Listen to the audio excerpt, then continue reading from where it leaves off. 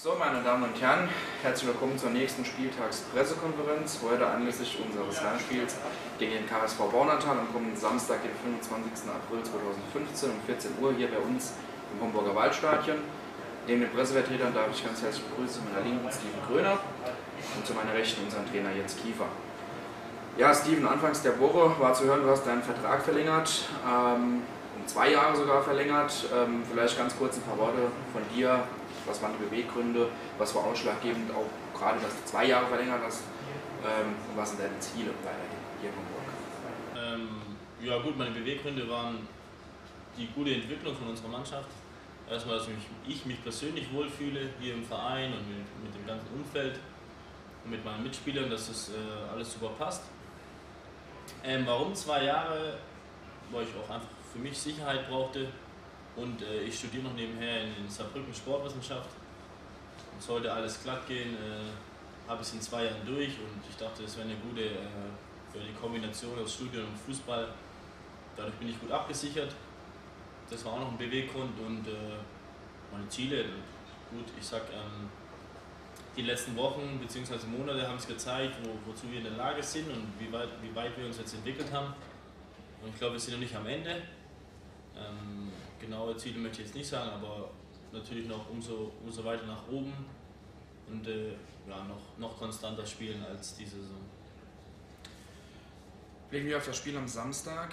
Ähm, die letzten Spiele, sage ich mal, waren ein paar Highlights dabei. Das Heimspiel Offenbach, das Derby in Elversberg, dann Saarland-Pokal-Halbfinale. Jetzt kommt Baunatal. Da wären 17 da, Torverhältnis von minus 50, 16 Punkte.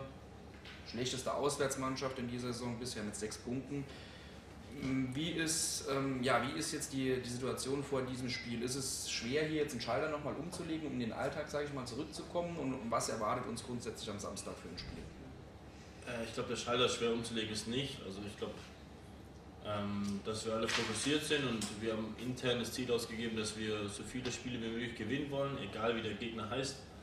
Ähm, ich glaube, in der Liga sind wir jetzt seit drei Spielen, haben wir nicht mehr gewonnen, glaube ich, soweit ich weiß. Äh, ist eine, leicht, eine leichte Krise, kann man sagen. Ja. Ähm, ich glaube, da wollen wir als, als wir als Homburg als, als Spitzenmannschaft, wie wir uns anziehen, müssen wir gegen Baunatal ähm, gewinnen. Und ich glaube, der Sieg am Ende der Woche, obwohl wir jetzt nicht so besonders gut gespielt haben, tut uns auch nochmal gut. Ähm, und dass wir da motiviert sind, egal wie der Gegner, ob das jetzt Baunatal wäre oder das wieder jetzt Offenbach wäre, ähm, glaube ich, sind da jetzt alle gleich fokussiert und, und konzentriert und wollen das das Spiel gewinnen, dass wir für unsere, unser Ziel, was wir uns gesetzt haben, alle Spiele möglichst gewinnen zu wollen, dass wir, dass wir das schaffen. Okay, vielen Dank soweit, Steven. Ähm, Jens, kurzer Rückblick zum Pokalspiel. Es gab da einen kleinen Schockmoment nach ungefähr 30 Minuten. Nils Fischer musste mit, äh, mit Kreislaufproblemen vom Platz, musste ins Krankenhaus gebracht werden. Ähm, was war da los und wie, wie geht es ihm jetzt heute? Ja, hat ähm, Infekt gehabt. Ja. Hat gesagt, das äh, war morgens schon nicht, nicht ganz so gut. Ähm, aber er wollte unbedingt spielen.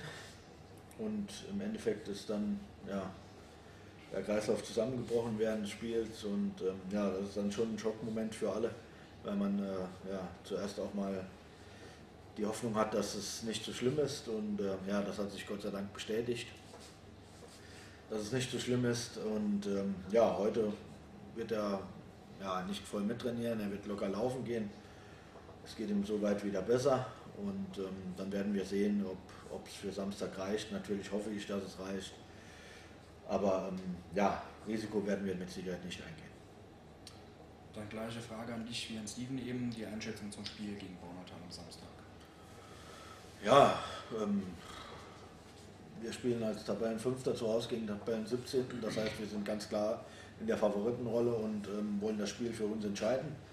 Ähm, wir wollen mit den drei Punkten unseren Tabellenplatz festigen, vielleicht auch so ein bisschen an Tabellenplatz 4 ran, rankommen. Ähm, das ist unser Ziel für das Spiel.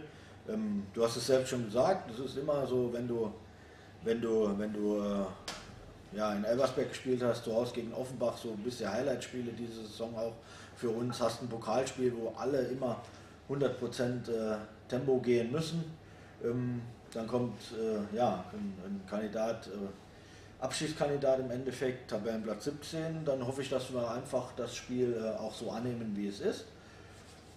Wir müssen Gas geben auf dem Feld. Wir haben, wir haben diese Verpflichtung, wir wollen Punkte holen. Es geht im Endeffekt auch um Prämien für, für die Spieler. Und ähm, dann hoffe ich, dass die Mannschaft das auch so annimmt. Und wie gesagt, wir unseren Tabellenplatz festigen können. Aber ich bin auch äh, ja, ganz, ganz optimistisch, dass wir, dass wir das hinbekommen.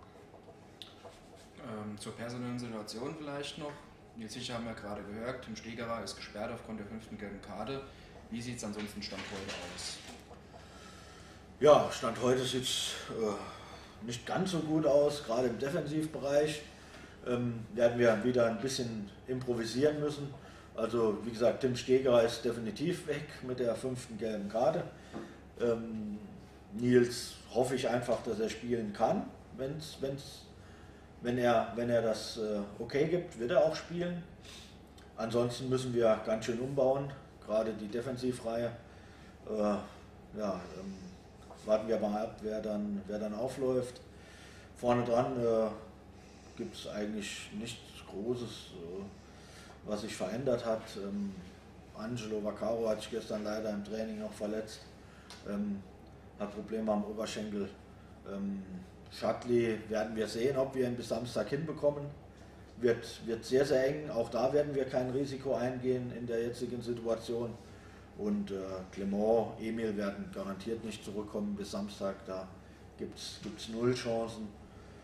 Ich hoffe, ich habe jetzt keinen vergessen. Also ähm, dementsprechend wird es äh, sehr, sehr eng werden. Aber ähm, ja, so ist eben die Situation und wir werden sie annehmen und wir werden sie auch ohne zu jammern annehmen und versuchen auch äh, an der Konstellation das Spiel zu gewinnen. Haben Sie Fragen an die beiden? Wie sieht es denn mit Steinmetz aus? Der war ja schon mal angekündigt. Wird der am Samstag sein Debüt geben in der ersten? Kann sein, dass er das Debüt gibt. Ähm, das Problem ist halt nur, dass die Positionen, die er spielt, äh, nicht ausfallen. Es sind eher Defensivpositionen. Aber müssen wir schauen. Wie gesagt, ähm, wir müssen einen von vorne nach hinten schieben, einen offensiven ein bisschen umfunktionieren, dass er in der Kette spielen kann und dann müssen wir gucken, welcher Platz frei wird. Dann kann es auch sein, dass er beginnt am Samstag aber ähm, das sind Dinge, die werde ich garantiert erst, äh, erst relativ kurzfristig, kurzfristig entscheiden. Müssen wir halt dann, dann sehen. Ist Steinmetz eigentlich vom Spieler her jemand, der auch für die Außenbahn in Frage kommt oder eher äh, der, der zentrale Stürmer? Nein, er hat früher auch schon Außenbahn gespielt. Hat die Außenbahn schon gespielt, aber wenn du ihn auf die Außenbahn stellst, dann musst du auch dementsprechend ausgerichtet sein, ähm, dass er das kann. Aber ähm, eigentlich ist er so ein ja, Zehner, hängende Spitze eher. Er hat diese Position öfters ausgefüllt oder, oder auch schon äh, Achterposition sowas gespielt. Ähm, er ist da sehr, sehr vielseitig einsetzbar, aber äh, um diese Position zu spielen, muss er eigentlich auch 100% fit sein. Und äh, da ist er einfach noch nicht bei 100%. Äh, deswegen, wenn er spielt, wird er eher irgendwo im vorderen Bereich eingesetzt werden. Äh, Frage an Steven. Du hast das vorhin, dich ausgedrückt, äh, konkrete Ziele möchtest du keine nennen für nächste Saison. Euer äh, erster Vorsitzender hat am Montag, äh, wie hat er sich ausgedrückt, äh, wenn wir diese, wir sind Fünfter, da können wir ja nicht sagen, dass wir nächste Saison 13. werden wollen. Ähm, ja, über den Fünften kommen natürlich nicht mehr viele, vielleicht werdet ihr sogar noch Vierter.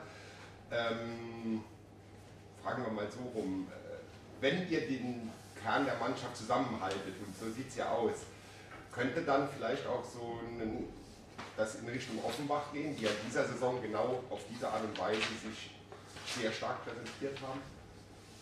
Ja, ich denke schon. Also ich glaube, gut, ganz genau mit Offenbach können wir es nicht vergleichen, aber ich, äh, wenn, wir, wenn wir viele vom Kern halten und uns Punkte noch verstärken, denke ich schon, dass einiges möglich ist. Ähm, wir können jetzt, glaube ich, nicht hier sitzen und sagen, wir wollen aufsteigen oder wir müssen aufsteigen, weil da würden wir uns zu viel Druck machen. Aber ich glaube, jeder hat den Anspruch an sich selber, wenn man Fünfter oder Vierter wird, dass man im nächsten Folgejahr ähm, mehr erreichen will.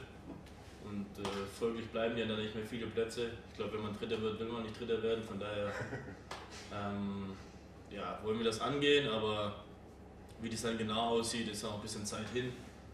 Und ich glaube, da muss man noch ein bisschen abwarten, wie das dann läuft mit den wer verlängert, wie wer dazukommt. Ich glaube, als, als als Sportler hat man immer das Ziel, erfolgreich zu sein. Von daher würde ich jetzt nicht sagen, dass ich jetzt nicht äh, aufsteigen will oder Erster oder Zweiter werden will. Ja.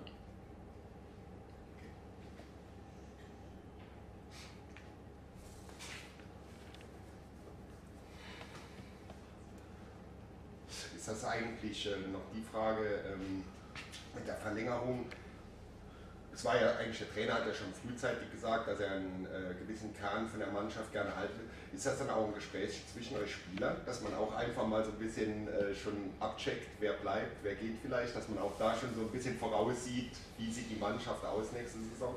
Ah, ich glaube jetzt nicht, dass einer das abhängig davon macht, wenn jetzt einer sagt, der verlängert, dann verlängere ich auch. Also ich glaube nicht, dass sich einer darüber Gedanken macht. Ähm, natürlich tauscht man sich aus, vor allem jetzt in der heißen Phase, es ist Ende April. Ähm, aber wie gesagt, ich glaube, das entscheidet jeder für sich selber, ob er sich wohlfühlt, wie wie was er vorhat. Und im Endeffekt muss man die Entscheidung selber treffen, aber klar, untereinander spricht man drüber, aber abhängig davon mache ich es jetzt nicht, wer jetzt verlängert und wer nicht. Also,